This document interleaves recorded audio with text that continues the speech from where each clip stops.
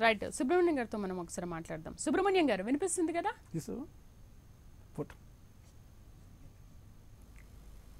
సుబ్రహ్మణ్యం గారు.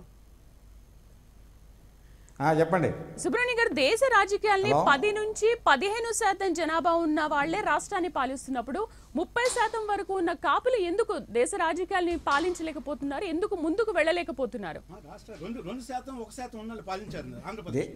మీరు దేశాన్న రాజ్య రాష్ట్రం గురించి మాట్లాడుతున్నారు. రాష్ట్రం. ఒక ఒక శాతం రెండు శాతం ఉన్న వాళ్ళు పాలించారు రాష్ట్రాన్ని. చెప్పండి. హలో.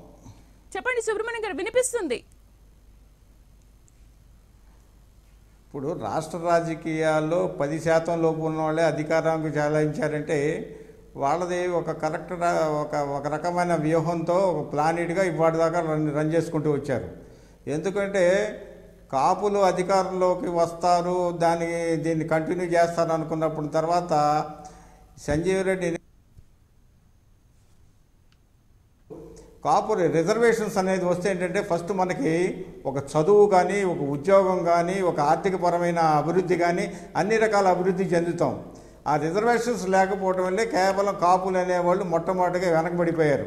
ఎందుకంటే పంతొమ్మిది వందల మన ముప్పై ఐదులోనే కాపుల్ని బ్రిటి బ్రిటిష్ గవర్నమెంటు రిజర్వేషన్స్ తీసేస్తే ఆనాడు ప్రపంచ మేధావి బిఆర్ అంబేద్కర్ గాజుల నరశేషెట్టి అనే వాళ్ళు ఇద్దరు వెళ్ళి డబ్బులు లేక మన ఓడలో ప్రయాణం చేసి బ్రిటిష్ వెళ్ళి ఎలిజబెత్ రాణిని గారిని కలిసి తిరిగి కాపులు రిజర్వేషన్ సాధిస్తే ఆ వరడి స్వతంత్రం వచ్చిన తర్వాత కూడా యాభై ఆరు యాభై ఆరు దాకా నీలం సంజయ్ రెడ్డి ముఖ్యమంత్రి అయ్యేదాకా రిజర్వేషన్స్ని తీసేశారు.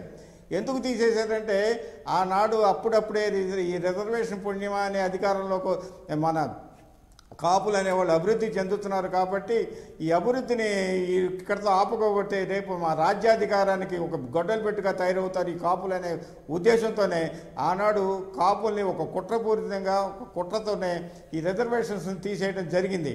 ఈ జరిగిన తర్వాత జరిగిన మళ్ళీ తిరిగి రా దామోదర సంజీవి గారు ముఖ్య ముఖ్యమంత్రి అవ్వటం ఇవ్వటం కేవలం కాపులకి రిజర్వేషన్ ఇవ్వటం వల్లే ఆయన ముఖ్యమంత్రి పోయిందనే నానుడు కూడా ఆ రోజు అధికారంలో ఉన్న రెడ్లు కానీ ఇంకా అతని అధికారానికి వెనకబడి నెనక నిలబడి పనిచేసే కమ్మలు కానీ వీళ్ళందరూ కుట్ర వల్లే ఆనాడు కాపునాడు ఉద్యమం అనేది కాపులు రిజర్వేషన్ తీయడం కాపుల్ని రాజకీయంగా ఎదగనీయకుండా ఒక ఒక తొక్కడం అనేది జరిగింది.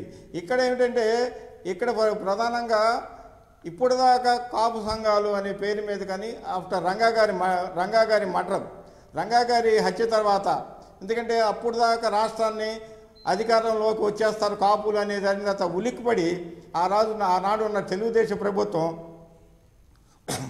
దీన్ని ఒక టార్గెట్గా చేసుకుని రంగాన్ని హత్య చేయటం రంగాగారి హత్య చేసిన తర్వాత ఆ నాయక దాని తర్వాత వచ్చిన నాయకత్వంలో ఇలాగా బి ముద్రగడ్డ గారికి వచ్చి దీన్ని హ్యాండిల్ చేయటం.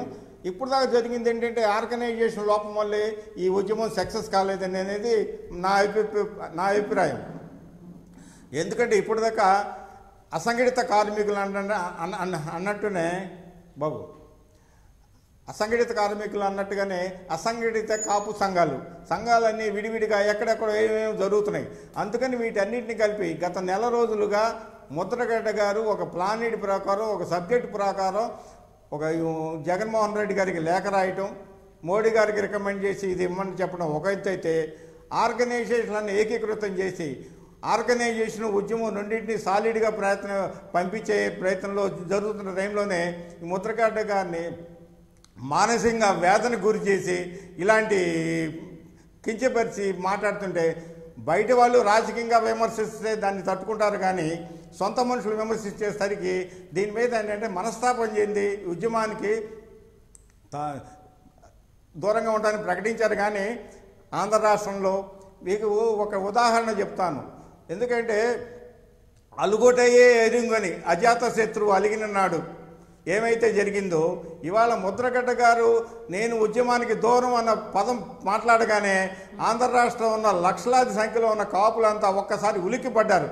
ఏంటి ముద్రగడ్డ? మీకే అర్థమవుతుంది. ఈ లేఖ వల్ల ఎంత మూడు రోజుల నుంచి నాలుగు రోజుల నుంచి ఎంత ప్రకంపనలు మిగిలవుతున్నాయో. దీన్ని దృష్టిలో పెట్టుకొని మీరు.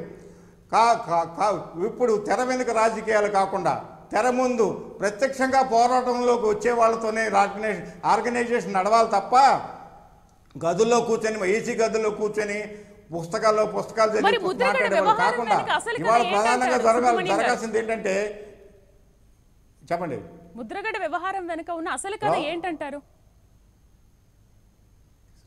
ముస ముద్రగడ్డ కథ అసలు కథ ఏంటంటే మీకు మాకున్న నెట్వర్క్లో మాకున్న సోర్స్లో హైదరాబాద్ నగరంలో చంద్రబాబు నాయుడు ఒక వ్యూహం ప్రకారం ఒక విజయసాయి రెడ్డి లాగా జగన్ జగన్మోహన్ రెడ్డి పార్టీలో ఉన్న విజయసాయి రెడ్డి లాగా మాకు ఒక ఆడిటర్ ఒక ఆడిటర్ ఉన్నాడు హైదరాబాద్లో. ఆ ఆడిటరు చంద్రబాబు నాయుడు వాళ్ళకు సంబంధించిన విచ్ఛిన్నకర శక్తులు కలిపి ముద్రగడ్డని ఈ రకమైన మానసికమైన బాధకు గురి చేయబట్టే ముద్ర చేశారు తప్ప ముద్రగడ్డ గారు ఉద్యమం నుంచి పారిపోవట పారిపోరు. ఎప్పటికైనా తిరిగి ఆయన నాయకత్వం వస్తారు తప్ప కుల సంఘ ఉద్యమాలకి రాజకీయ నాయకులు పెత్తనం మాకు వద్దండి కుల సంఘాలకి రాజకీయ నాయకులు పెత్తనం వద్దు. కుల సంఘాలకి కుల సంఘం తరపునే నాయకత్వం వహించాలి కానీ కన్నా లక్ష్మణ గారు వహిస్తారా? లేకపోతే ఇంకో ఆయన వహిస్తారా అనేది రాజకీయ నాయకులు తీసుకొచ్చి కుల సంఘం మీద ముద్రేయద్దు. ఎందుకంటే ముద్రగడ్డ గారు తన రాజకీయ జీవితాన్ని ఎంపీ చేసిన ఎమ్మెల్యే చేసిన మినిస్టర్ చేసిన అన్నీ అన్నీ వదులుకొని ఈ కాపు ఉద్యమాన్ని కోసం వచ్చాడు. ఎందుకంటే కేవలం ఆయన వెనకాల ఒక రంగా గారి స్ఫూర్తి ఉంది. ఎందుకంటే విజయవాడలో జరుగుతున్న మానవ నరమేధం. కాపుల మీద కా- కాపు నాయకుల మీద జరిగిన నరమేధాన్ని చుట్టి తట్టుకోలేకే ముద్రగడ్డ గారు ఈ రకమైన ఈ ఉద్యమంలోకి వచ్చారు. ఆ ఉద్యమాన్ని నుంచి ఆయన పారదోలి మళ్ళీ రెండు వేల ఇరవై నాలుగులో మేము అధికారంలోకి వస్తామని ఆశతో ఉన్న వాళ్ళే ఈ కుట్ర చేస్తున్నారు. ఈ కుట్రని మేము బహిర్గతంగా ఆయన వ్యూహాలకి ప్రతివ్యూహంగా మేము ఆరు నెలల్లో ఈ కాపునాడు కాపు నాడు ఉద్యమం ఏ స్థాయికి తీసుకొస్తాం మీరు ప్రత్యక్షంగా చూస్తారు. ఎందుకంటే ఇది అలాటప్ప కాదు. వాళ్ళ రాష్ట్రంలో ఉన్న రెండు కోట్ల మంది పైగా ఉన్న కాపులు ఇది దీనికి సంబంధించిన అన్ని రకాల ఇబ్బందులు పడుతున్నాం. ఎందుకంటే ఉద్యోగాలు లేవు. ఉద్యోగ ఉద్య విద్య లేదు. చంద్రబాబు నాయుడు గారు కా మీద ఈ కాపు కార్పొరేషన్ పెట్టారు. కాపు కార్పొరేషన్ పెట్టి రిక్షా వాళ్ళని రిక్షా వాళ్ళుగా బడ్డీ కొట్టోళ్ళని బడ్డీ కొట్టోళ్ళుగా చేశారు తప్ప కొన్ని లక్షల రూపాయలు ఖర్చు పెట్టి కొన్ని లక్షల రూపాయలు ఖర్చు పెట్టి మన ఈ సివిల్స్కి కాపు కాపుల్ని ఐఏఎస్లు చేస్తాను ఐపీఎస్ చేస్తాను సివిల్స్లో కొన్ని లక్షల రూపాయలు ఖర్చు పెట్టి. ఒక్క కాపును కూడా ఐఏఎస్ ఐపీఎస్ చేయలేని పరిస్థితి ఈ చంద్రబాబు నాయుడు. ఎందుకంటే ప్రతిదీ. చంద్రబాబు నాయుడు గారు ఇవాళ ఆనాడు రంగా గారి నుంచి ఈనాడు ముద్రగడ్డ వరకు అన్ని కుట్రలు కుతంత్రాలతో నడిపాడు తప్ప ఎక్కడ ఒక అధినేత ఒక అధినాయకుడు ఫ్రెయిర్గా ఉండాలనే ఆలోచన ఎక్కడా లేదు ఎందుకంటే రీసెంట్గా మీకు ఆసియా ఏషియన్ బాడీ బిల్డింగ్ కాంపిటీషన్లో ఏషియన్ బాడీ బిల్డింగ్ కాంపిటీషన్లో నెంబర్ వన్ వచ్చిన మన నిశంకర్రావు వెంకటరత్న గారి నాయుడు గారు అని పాత గుంటూరు అసెంబ్లీలో ఎమ్మెల్యే చేశాడు స్పీకర్ చేశాడు ఎంపీ చేశాడు. ఆయన మనవడు బాడీ బిల్డింగ్లో నెంబర్ వన్గా వస్తే నెంబర్ టూగా వచ్చిన కేసీఆర్ అతనికి ఇరవై లక్షల రూపాయలు ఇచ్చి ప్రోత్సాహం ఇచ్చి ఉద్యోగం ఇప్పించాడు. థర్డ్ వచ్చిన థర్డ్ వచ్చింది థర్డ్గా వచ్చిన క్రేజీ వాళ్ళు ఢిల్లీ ఇన్కమ్ ట్యాక్స్ ఉద్యోగం ప్రోత్సాహం ఇచ్చాడు. కానీ మాట్లాడదాం మనం. హలో వీరభద్రం గారు. వీరభద్రం గారు. లైన్లో ఉన్నారండి వీరభద్రం గారు? యోగేశ్వరరావు లైన్లో ఉన్నారు విజయవాడ నుంచి. హలో. హలో. చెప్పండి. ఆ, నేను జోగేశ్వర అడ్వకేట్ అమ్మా. ఆ, ఓకే సమస్యకి పరిష్కారం ఏంటంటే ఈ జాతీయ పార్టీలో పూనుకోవాలి. ఎందుకు చెప్తున్నానంటే. ఈబీసీ కోటాలో పది ఈబీసీ అంటే ఎకనామికల్లీ ఫార్వర్డ్ క్యాస్ట్లో ఎకనామికల్లీ ఎవరైతే వెనకబడి ఉన్నారో వాళ్ళకి పది శాతం ఇస్తే దాంట్లో ఐదు శాతం చంద్రబాబు నాయుడు గారు అమెండ్మెంట్ చేశారు యాక్ట్ అసెంబ్లీ ద్వారా. అది కోర్టుల్లో నిలబడదు. ఏం చేసినా సరే సెంట్రల్ గవర్నమెంట్ చేయాల్సిందే కాపులకి. ఈ చెప్తున్నటువంటి బీజేపీ నాయకులు ఇప్పుడు వారు ఉన్నారు ఐదు శాతం ఇవ్వలేదు అంటున్నారు ఐదు శాతం ఎక్కడ ఇవ్వాలి? పది శాతం అగ్ర కులాలకు ఇచ్చినటువంటి బ్యాక్వర్డ్ అగ్ర కులాల్లో వెనకబడిన వాళ్ళకి ఇచ్చినటువంటి పది శాతంలో ఐదు శాతం ఇస్తే అది- ఎలా చెల్లుతుంది? అది చెల్లాలి అంటే సెంట్రల్ గవర్నమెంట్ యాక్ట్ చేయాలి. లేదా షెడ్యూల్ నైన్లో సెంట్రల్ గవర్నమెంట్ చేయాలి. ఆర్టికల్ త్రీ సెవెంటీ లాంటి దాంట్లో చక్కటి మార్పులు తెచ్చినటువంటి నరేంద్ర మోడీ గారు అభినందనీయులు. అదేవిధంగా ఇప్పుడు చెప్తున్నటువంటి ఆ బీజేపీ నాయకులు అక్కడ కూర్చున్న వాళ్ళు మీకు మీకు సంపూర్ణ మెజార్టీ ఉంది పార్లమెంట్లో దీన్ని తీసుకెళ్ళి కాపుల ఇష్యూ తీసుకెళ్ళి వాళ్ళకి తప్పకుండా రిజర్వేషన్ ఇవ్వాల్సిందే. సెంట్రల్ కాన్స్టిట్యూషన్ అమెండ్మెంట్ చేసి ఆర్టికల్ షెడ్యూల్ నైన్లో ఉండే విధంగా మీరు చర్యలు తీసుకోవాల్సిందే తప్పించి అన్ని హైకోర్టు సుప్రీంకోర్టు జడ్జిమెంట్ ప్రకారం యాభై శాతం రిజర్వేషన్ పెంచడానికి వీల్లేదు. అటువంటి రైట్ ఓకే అండి. శ్రీనివాస్ గారు అంటే కాపులకు రాజకీయంగా రిజర్వేషన్లు ఇచ్చే విషయంపై జాతీయ స్థాయిలో దీన్ని తీసుకెళ్తే ఖచ్చితంగా ఫలితం వచ్చే అవకాశం ఉంటుందంటారు. ఇప్పుడు భారతదేశంలో తమిళనాడులో కానీ కర్ణాటకలో కానీ కేరళలో కానీ అదేవిధంగా మహారాష్ట్రలో కానీ అనేక రాష్ట్రాల్లో యాభై శాతం క్రాస్ అయ్యే రిజర్వేషన్స్ ఆల్రెడీ ఉన్నాయి. వాళ్ళు కొత్తగా కాదన్నమాట వాళ్ళు. అయితే ఎందుకు ఇవ్వాలి అనేది ఒక పాయింట్. ఆ పాయింట్ని వీళ్ళు పాజిటివ్గా చెప్పాలి. పాజిటివ్గా అంటే ఉన్నదే చెప్పాలి. ఇక్కడ అసలైన సమస్య ఏంటంటే కాపుల్ని బీసీల్లో నుంచి డిలీట్ చేశారు. కొత్తగా బీసీల్లో పెడతలేదు. డి బీసీలోంచి తీసివేశారు. పాత బీసీ దాంట్లోంచి పెట్టమన్నాం. అయితే ఇవాళ ఇక్కడ ఏం జరిగిందంటే కాపులను తీసేసిన తర్వాత ఒక పది కమ్యూనిటీస్ని బీసీలో జాయిన్ చేశారు. చేయటం వల్ల ఏంటంటే ఆ- స్పేస్ ఏదైతే ఉందో ఫిల్అప్ అయింది. అంటే ఫార్టీ ఫైవ్ పర్సెంట్ అయింది.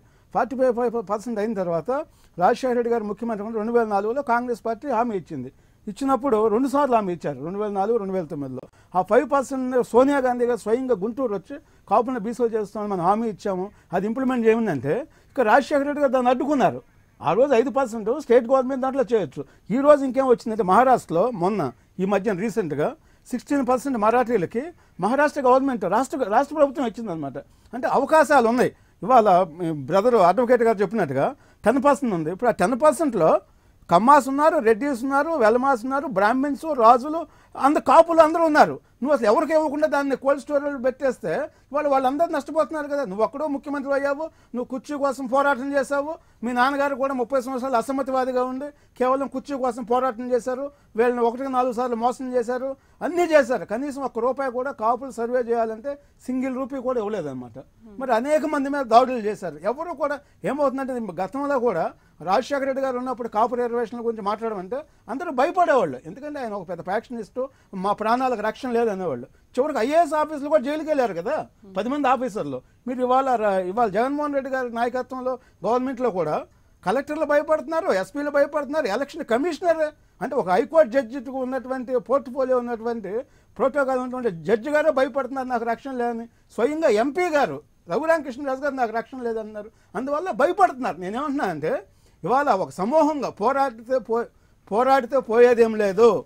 బానిస సంఖ్యలో తప్ప అని మనకు అంబేద్కర్ గారు చెప్పారు. ఆయన చెప్పిన సూక్తిని తీసుకెళ్తే డెఫినెట్గా విజయం సాధిస్తాము.